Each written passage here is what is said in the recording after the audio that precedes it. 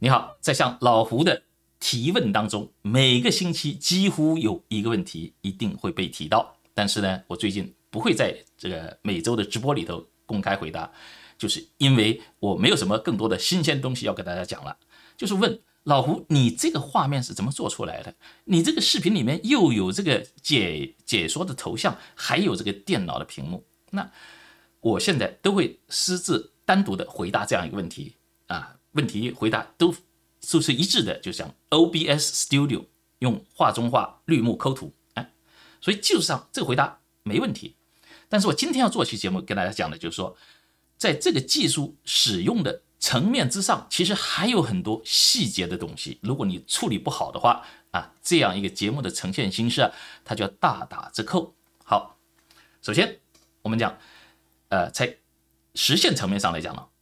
这个。头像的这一部分可能是你一个这个用摄像机单独拍的手机啊好，或者是电脑自带的呃这样一个摄像头，那这是一个画面。这个录屏这是另外一个画面，在处理上面其实就是一种画中画，是一个画面叠加在另外一个画面啊之上。那么很显然，这个是在这个后面这个画面之上，在它的前面你看起来的话，那这个处理的方式。可以是两种，第一，你本身这两个画面的这个圆就是两个不同的圆，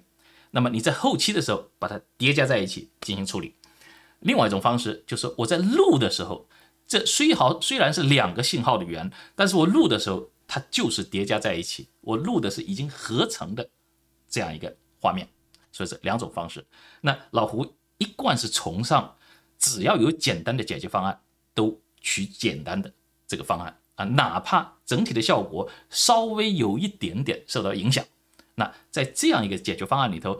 啊，两个不同的这个呃图像源在后期进行处理的话，它当然会有很多的这个呃灵呃这个灵变性。我举一个例子，比如说我要讲到这个地方的时候，我的头会遮住后面要讲的一部分的信息的话，那我这个固定的这样一个。层叠的位置就不方便，对吧？那么如果我是两个不同的这样一个图像源的话，我就很容易，它在遮挡的时候，我就把这个头像往左边移一下就可以了啊。然后呃，这一段讲解完了以后，把头像又重新移回来，所以就操作上非常方便，方便。甚至我就可以在这一段把这个头像把它隐藏起来也可以。那我采用的是个简单的方法，就是你这个画面看到的。我录下来的是已经经过画中画、抠图，已经处理好的，所以你会看到我有的时候做节目的时候讲，呃，如果我要讲这后面的这个呃这个留言的话，我会这样子，让你看看这后面，就这样子处理。嗯，我我不认为这种处理是呃讲给你不专业的感觉，呃，反而是一种真实的感觉。所以我在技术方面一贯如此，只要是有简单的方案，我都会用简单的方法去处理。所以在这个上面也是一样的，所以我的处理方式不是好几个这个机位相机的这个呃圆这种呃轨道或者是圆在后期进行了叠加处理，我都是在录的时候进行处理啊。最近你看见我的节目就是零后期，我录完了以后没有任何的剪辑啊，哪怕呃讲错的或者中间空隙过大的都没有，就是录完了以后直接上传啊，这个。既是我的一个偏见，也是我的一个借口啊！应该把主要的精力放在训练你自己进，就是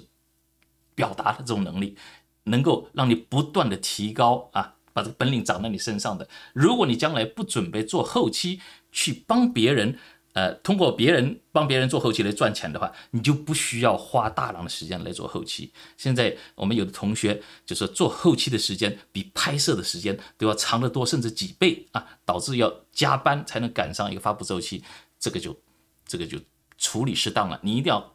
找到一个有效率的啊，呃，我并不是在这边要提倡零后期。一定是要把这个后期的这个效率要提高，能简单流程，能简单化技术，一定要在这个方向尽力的努力，把你有创造性的，把你的这个能力就是有有积累的，能不断提升的，能长到你身上的本领，在这上面下功夫啊，就对了。好，那今天我为什么做一期节目讲这个，就是一句话就能讲清楚的这样一个技术实现？就是因为你虽然是这种形式里头，还是有很多细微的讲究。好，我首先讲第一点，比如说你这个地方可以不用绿幕抠图，就是让大家看见画中画。这个画中画的这个本身拍摄这个头像，它本身就是一个横屏的视频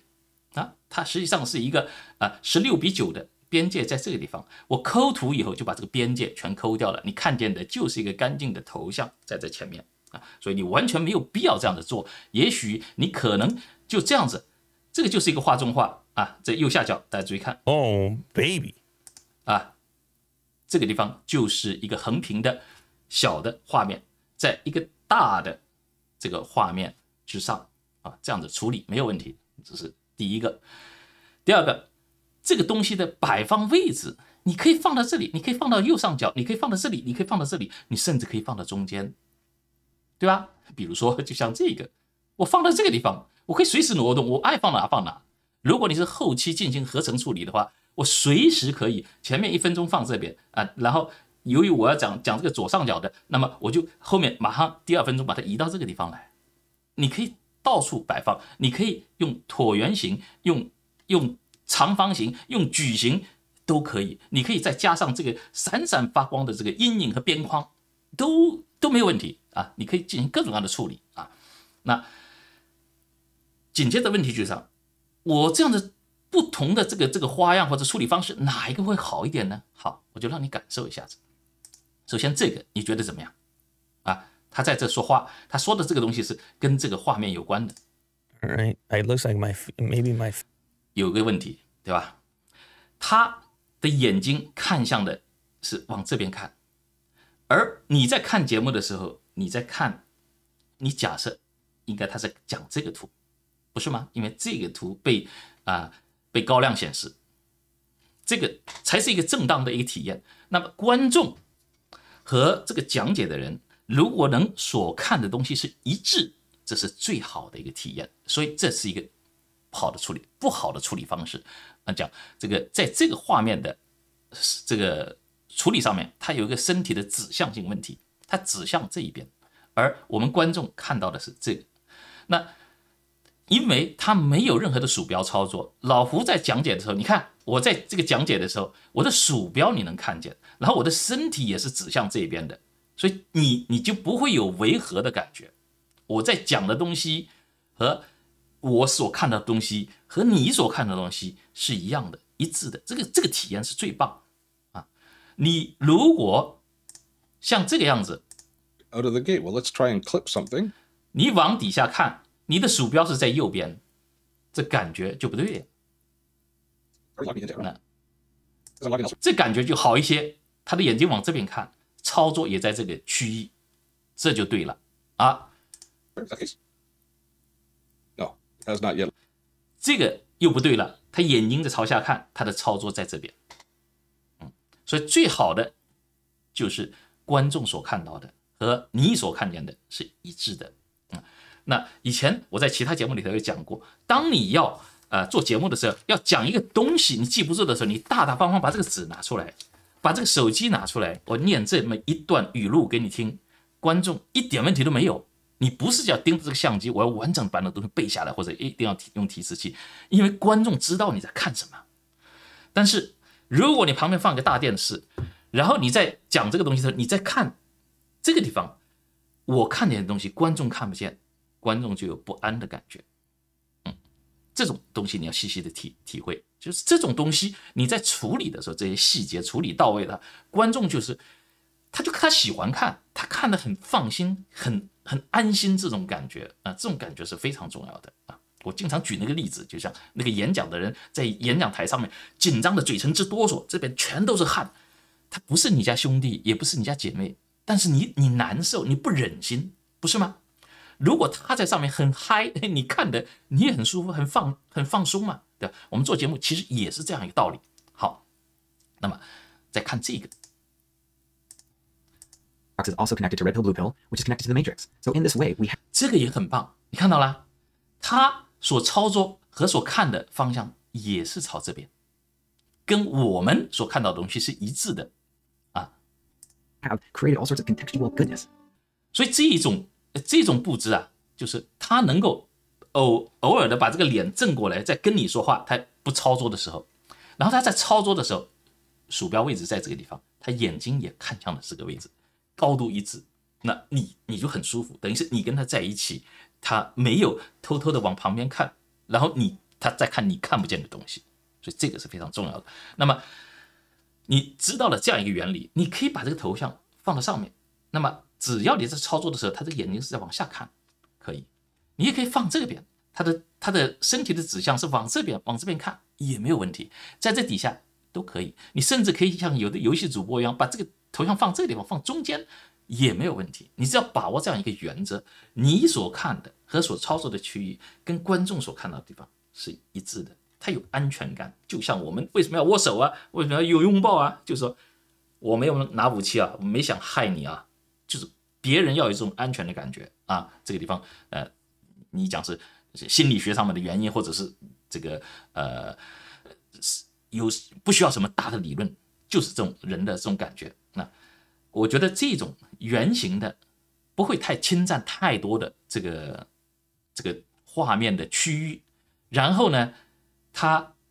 又是有足够的这样一个像高亮的显示区域，它不需要抠图。如果你抠图，呃，像我穿的黑的黑色衣服，然后这个地方又是在不显不显眼的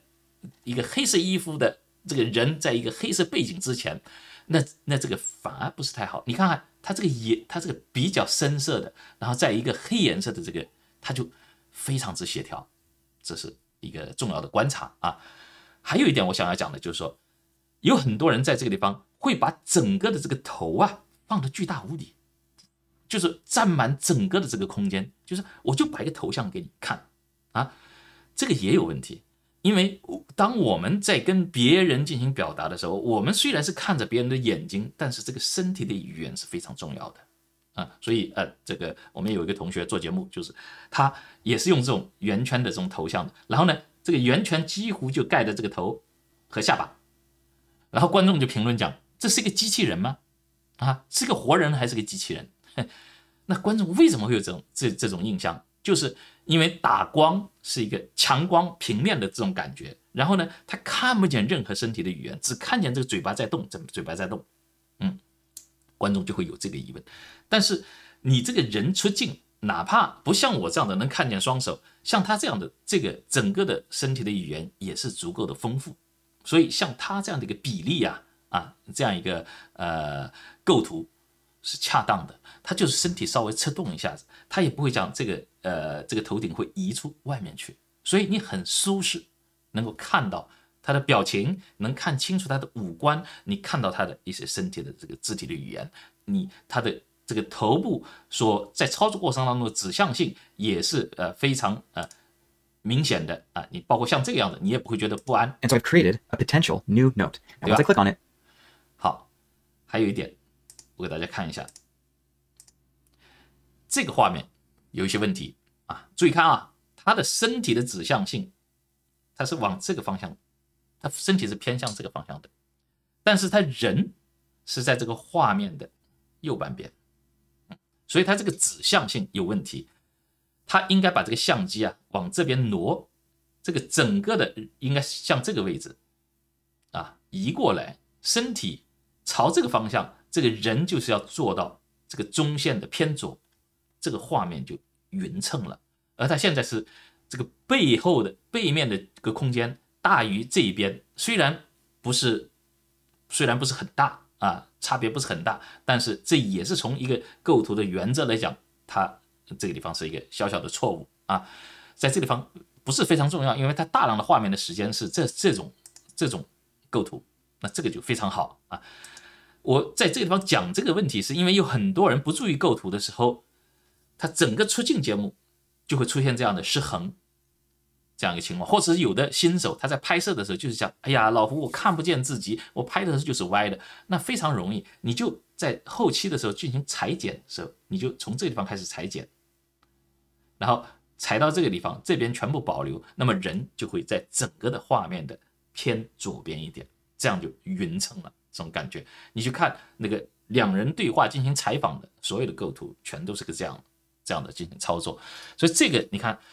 就是一些一些细节的地方，你怎么样使得你的画面能够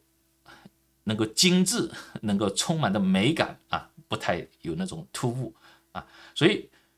结合我前面讲的，虽然你要在技术上追求简单，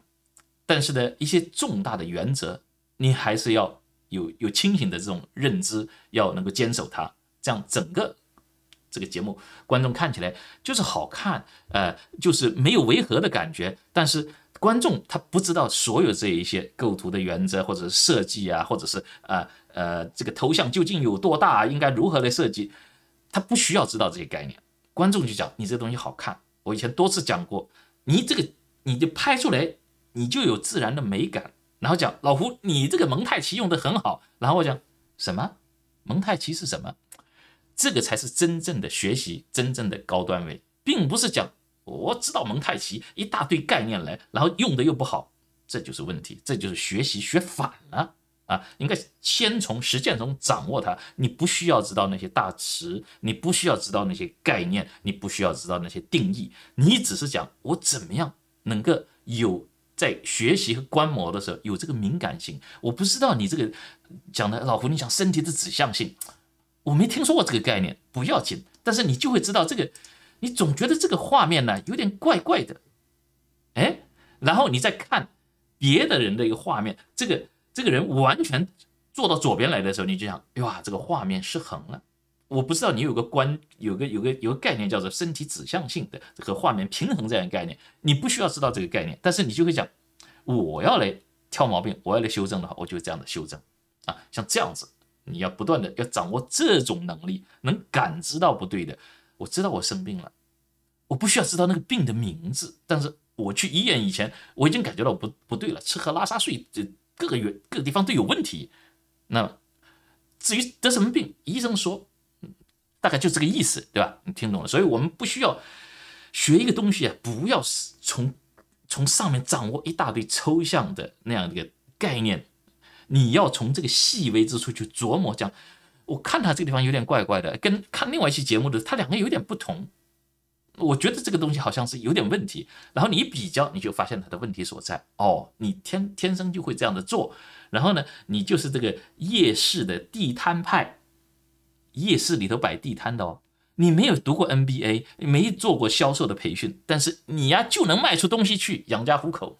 这个才叫做牛叉啊！所以我们在学习这些东西的时候，也要从这个方面去多多的领会。好，所以今天呢，就给大家讲这样一个画中画的这样一个构图啊，应该要从哪一些细节的方面去使得整个的这个东西的啊好看。那么你我讲了这个东西，希望能够开启你的观察和认知的这样一个窗口，你下面就更会去比较。人家用椭圆、用方形或者用矩形、用闪闪发光的呃呃这样一个这这样一个边框，或者是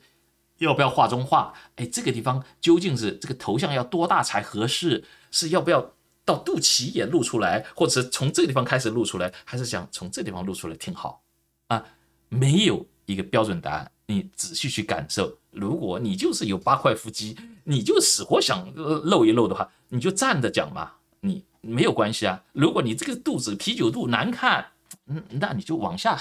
来一点啊。所以每个人情况不一样啊。好的，那这就是今天呃这期节目的全部内容，希望多少能对你一点启发。谢谢，再见。